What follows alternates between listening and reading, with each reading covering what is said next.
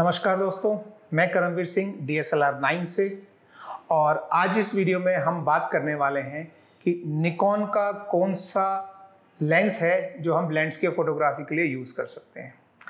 Landscape photography जो है वो सबसे आसान फोटोग्राफी मानी जाती है, और मोस्टली बहुत सारे लेंस हैं जो आप लैंडस्केप फोटोग्राफी के लिए यूज़ कर सकते हैं।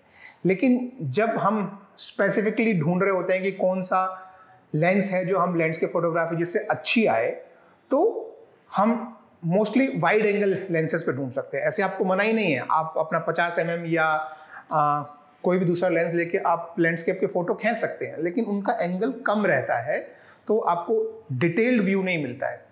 तो आप अगर वाइड एंगल लेंस यूज़ करते हैं तो आपके लैंडस्केप्स जो है, वो काफ़ी पूरा एनवायरनमेंट आता है, आसमान आता है, बीच में जो भी चीज़ है वो आती है, पास का, दूर का व्यू आता है। और वाइड एंगल के जो लेंस होते हैं, उसमें काफ़ी दूर तक आपका डेप्थ ऑफ़ फ़ील्ड जो है, आपको अच्छा मिलता है। तो अगर आप, इस तरह का वाइड एंगल लेंस ढूंढ रहे हैं निकॉन के कैमरा के लिए तो उसकी मैं बात करने वाला हूँ, लेकिन उससे शुरू करने से पहले मैं आपको दो चीज़ें मैं आपको बताना चाहता हूँ कि नॉर्मली आप जब लैंडस्केप फोटोग्राफी कर रहे होते तो आपको हर चीज़ इमेज में जो है वो क्रिस्टल क्लियर चाहिए होती है, ये पहली रिक्वायरमेंट होती है। पोर्ट्रेट जैसा नहीं होता, जैसे पोर्ट्रेट में अगर हम किसी के चेहरे पे फोकस कर रहे होते हैं तो हम चाहते हैं कि बैकग्राउंड पूरा क्लीन रहे। लेकिन जब हम लैंडस्केप फोटोग्राफी करते हैं तो हम चाहते हैं कि शुरू से लेकर आखिरी तक, पहाड़ हो, पास में पेड़ हो, हर चीज़ क्लियर रहे। तो उसके लिए ज़रूरी होता है कि डेप्थ ऑफ़ फ़ील्ड आपकी जो है, वो बहुत लंबी रहे। यानी आपका एफ़ स्टॉप या जिसे हम जिसे हम एपर्चर बोलते हैं, वो ज़्यादा ना खुला हो, कम खुला हो। यानी एफ़ स्टॉप एफ़ एट या उससे ऊपर का नंबर हो। जितना एफ़ नंबर ज़्यादा होता है, उतना यानी लेंस कम खुला है। तो आपको कम लेंस खोलना है, यानी एफ़ स्टॉप एफ़ एट यानी एफ़ आठ या आठ, दस, ग्यारह ग्यारह से ऊपर मत जाइए, लेकिन वैसे सोलह तक भी आप जा सकते हैं। सोलह से ऊपर थोड़ा सा डिस्टॉर्शन आने लगता है बट नॉर्मली एफ़ एट से एफ़ इलेवन के बीच में आप इसे रखिए। ये पहले रिक्वायरमेंट है।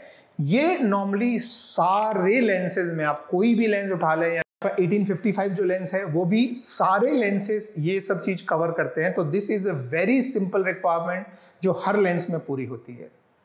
ये है रिक्वायरमेंट नंबर वन दूसरी जो रिक्वायरमेंट है, वो ऐसे रिक्वायरमेंट नहीं है, लेकिन हम चाहते हैं कि ब्रॉड व्यू आए। तो कौन सी फोकल लेंथ ली जाए जिसमें ब्रॉड व्यू आए?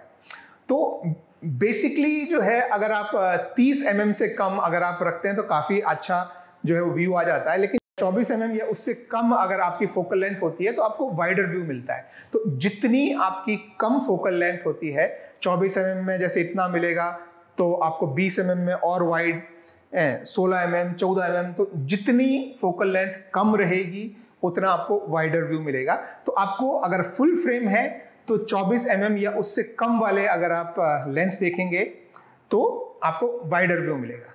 यही अगर आपका एपीएससी कैमरा है, यहाँ पे मैं आपको एपीएससी कैमरा की लिस्ट पूरी में दे रहा हूँ तो इनमें से अगर आपका कोई कैमरा है तो आप 16 एम एम सोलह M M is equivalent to 24 M M in full frame तो एपीएससी में 16 एम mm या उससे कम वाले जो जो लेंस है वो अगर आप यूज़ करते हैं तो आपको वाइडर व्यू मिलेगा।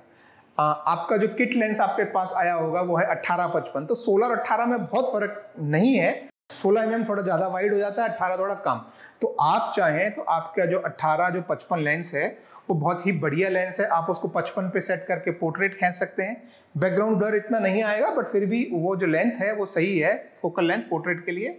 और जब आप उसको 18 पे करते हैं तो आप वाइड एंगल यूज़ कर सकते हैं और उसमें आप लैंडस्केप का फोटोग्राफी कर सकते हैं। उतना वाइड नहीं आएगा, पर फिर भी अगर इमरजेंसी है तो काम आपका उससे अट्ठारह पचपन से चल जाता है। लेकिन 16 एम mm और उससे कम वाले जो लेंस हैं आपके एपीएससी में, वो आपके लिए यूज़फुल हैं।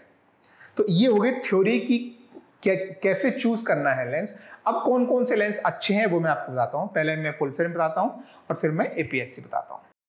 फुल फ्रेम में जो निकॉन का होली ट्रिनिटी में जो पहला लेंस है, चौदह चौबीस लेंस ये F two point eight lens है और ये और भी कई चीज़ों में यूज़ होता है। लेकिन ये 24 एम mm सबसे ज़्यादा वाइड एंगल ओपन होता है। उससे ज़्यादा वाइड अभी तक निकॉन में कोई लेंस बना नहीं है।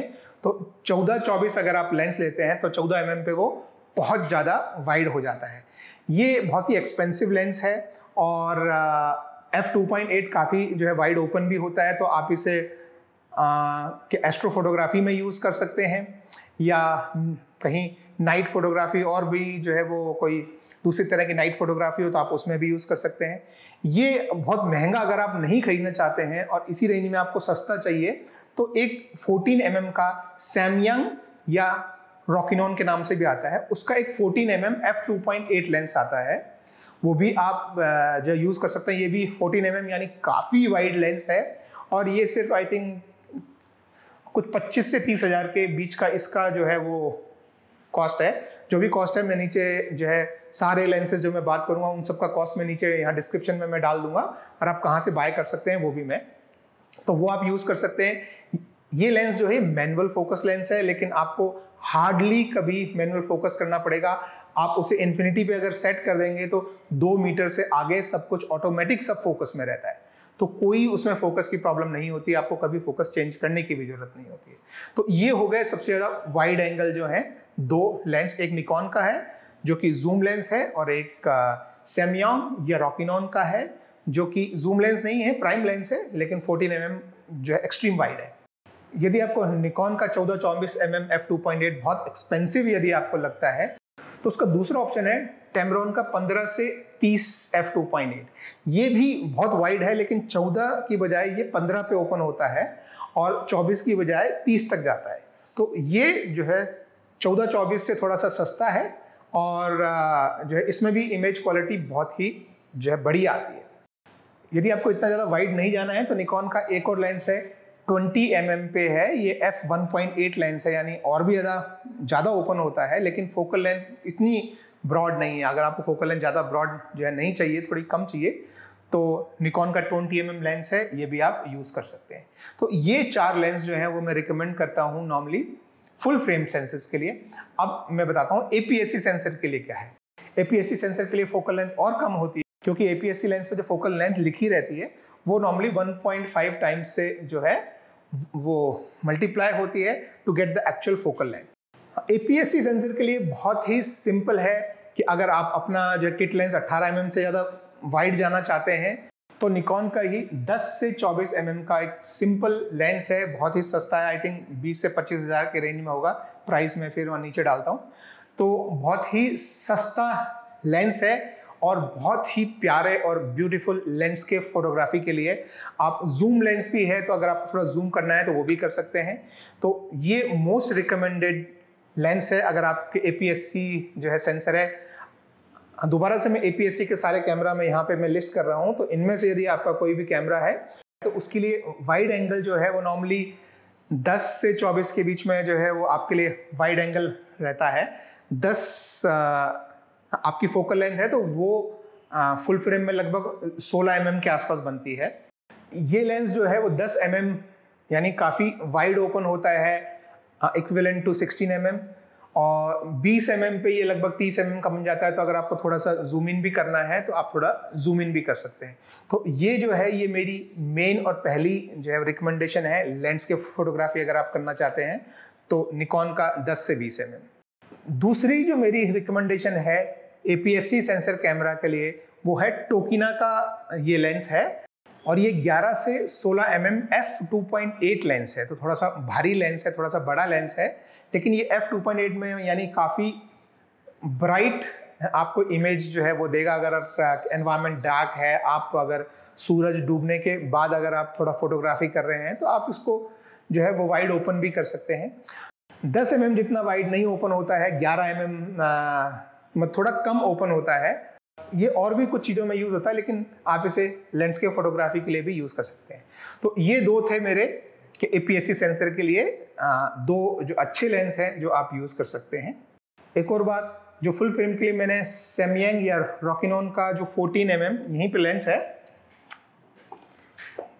ये देखिए ये सेमियन का लेंस है। ये 14 एम mm फुल फ्रेम में बहुत वाइड ओपन होगा, लेकिन यही अगर आप ए पी सेंसर कैमरा पे आप यूज़ करेंगे तो लगभग 21 एम इसका जो है वो फोकल लेंथ बनता है। तो, तो उसमें भी आप यूज़ करेंगे तो काफ़ी वाइड है। तो आप ये यूज़ कर सकते हैं।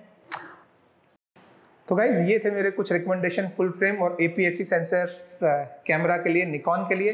तो अगर आपको मेरा वीडियो पसंद आया हो तो लाइक ज़रूर कीजिएगा। और चैनल को सब्सक्राइब नहीं किया हो तो अभी कीजिए। Thank you bye